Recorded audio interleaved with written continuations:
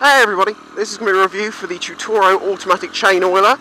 As I said I would do. Now I've had this on my bike for about a week now because as I said before I don't do reviews of things until I've actually used them myself because otherwise I don't really have a valid opinion on them.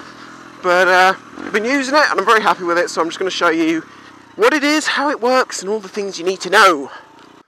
Okay, so this is the oiler itself. I'm going to take this panel off to show you it more clearly, but the reason why I've mounted mine behind the panel here, that does mean it's a bit more difficult to fill because it's a top filling reservoir, is because on a supermoto I'm a little bit concerned about it being down here.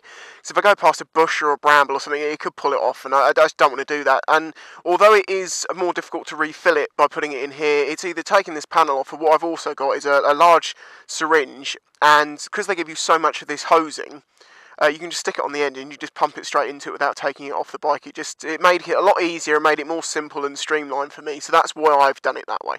Anyway, I need to take this panel off. Okay, there you go. Now this is a universal chain oiler, see this will fit to any bike. Um, depending on which package you buy from them, you get extra brackets and things like this. Um, but they send you, in the deluxe kit, they send you everything you're going to need to fit it to any bike. Now, it is fixed the bike using tie wraps, and I have to say that I thought, well, is that going to be strong enough? Uh, the answer to that is yes. I mean, I'm, I'm going to get as close as I can. As you can see, this isn't moving at all. It's solid. Uh, right, well, I will explain exactly how the thing works first, because this is the thing that I didn't really get. Now, you've got a reservoir of oil, and you have the tube that comes down here, and you have a nozzle that feeds it onto the chain.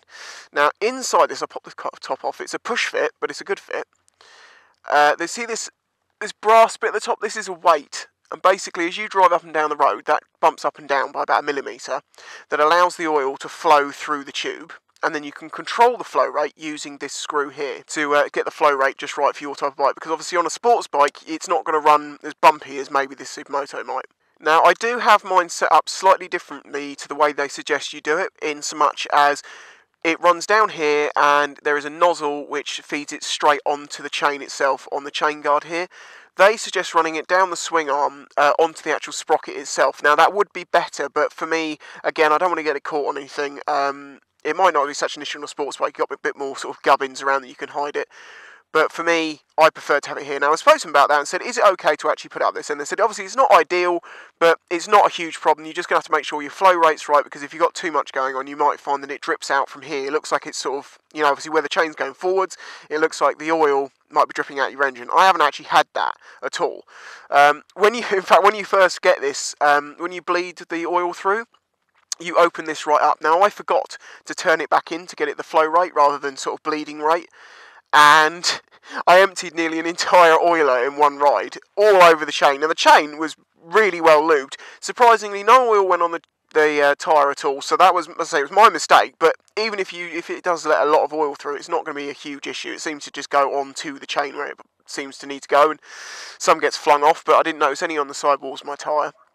Okay, so in the kit you get the bracket, which this you can take apart as much as you like and put it back together in different configurations so it fits uh, how you want it to. It's made up of three parts, uh, so you, literally you can put it together backwards, forwards, upside down, and you can work out the best way for it to fit on your bike. But you do need to have this within, I think it's 10% or 5% of vertical. Yeah, that's quite important. Now I do realise with this camera it's quite wide angle, so you won't be able to see too closely. So I'm just going to go back over using my phone, so you can actually see what I'm uh, talking about. Okay, so you've got the actual oiler itself here, as you can see, the adjuster valve here, your bracket attaches, you've got the tube that comes off the bottom, runs down and ends up pointing down onto the chain because there's a nozzle on the end of it that's supplied, and that just means it drips directly onto the chain. You can move it backwards and forwards with this metal wire, uh, so you can make sure it stays in the right place. Uh, build quality wise, fantastic. The bracket is really good and strong. The actual uh, oiler itself, the plastic this is made of is a good high density plastic. The first thing I noticed when I got out of the bag was, is like this is a really nicely made little bit of kit because it only comes from a family run business, but they're very, very good at it and I'm, I'm very impressed by it. Um, when you get it in the kit, as I say, you get a lot more plastic tubing than this. You get miles of it. Um, so you all you have to do is sort of roughly get this in the right place, roughly get that in the right place, and then you sort of tie wrap bits down, neaten it up, chop the hose off so there's a little bit of a, a give in it. So you know for any movement you need. The one thing you don't ever want to do is put it on the swing arm itself because obviously the, the rattling of that weight would mean that it would chuck all of its oil out. You want it up here somewhere or down here. I mean, I could have put it down here, uh, which would have meant the panel wasn't in the way of it, but I'm just a bit worried that a bush would hit it or pull it off or something like that. But really, there isn't a lot more to it. That's the wonderful thing about it. It's very simple. You put oil in here. And now, I will say about the oil. Um, the oil itself in this is the Tutoro oil they supply. Uh, it's about five ninety nine for um, 500 mils, and it is a ch- design chain lube for this with uh, anti-corrosives and stuff like that in it. You can use a 2050 type uh, engine oil if you don't have that available at the time, but obviously that's not going to give you the same sort of uh, anti-corrosion effect, but it will give you the same sort of flow rate, obviously if it's too thin, it's just going to run through too quickly. Uh, fitting is very, very, very easy. That's why I didn't bother showing it because it's it's self-explanatory. You get this where you want and say do the tie-ups up.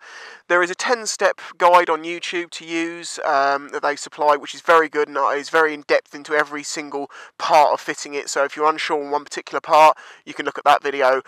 If it's something else, or you can watch the whole thing. I watch, watch through the whole thing just to see sort of how they suggested and then work my own configuration out. I say, take a little bit of time to work out where you're going to put it, but to any bike, sports bikes, um, cruisers, obviously supermotos, because I said about I was a bit concerned with the bouncing of a supermoto because it was a bit more jumpy, obviously. Is that going to be a problem? They said no. It's used on uh, people use them on crosses and MX bikes, and they find they're very, very good. So they're happy to use them. As I say, I've had it on for a week now. I'm still. You have to play with the flow rate a little bit um, to get it just about right. At the moment, I think I'm about there. Uh, I think it's going to be more specific per bike, depending how bumpy the road you're on are, for instance, to get the right. But if you look at my chain, I don't know if you can see this properly, but uh, it's wet with oil, but it's not wet wet. It's just got a nice lubrication. That's what you want. You don't want it too dry, and you don't want it overly wet. So you're just going to have to play with it and just get the right uh, saturation sort of for your chain and how you like to have it. I think really that's all you need to know. It's nice and easy to fit. It does what you need it to do. It's not overly complicated, like I say, like the Scott Oilers with their LCD screens and the electrics and all that. I mean, that might be. I'm not saying they're not any good at what they do. They're perfectly good at oiling a chain, but I like simplicity and I like mechanical rather than electrical. And this just answers that question for me, and I'm very, very happy with it.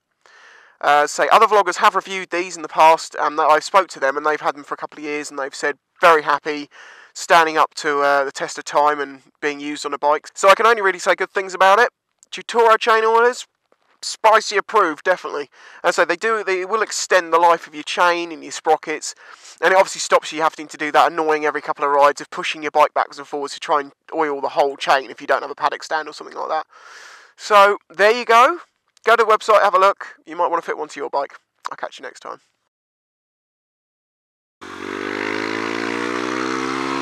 And it's true that that bike probably will be better than a Chinese bike. But then the thing is, they cost over 4,000 quid. The stereotype of Chinese bikes, which so many people buy into,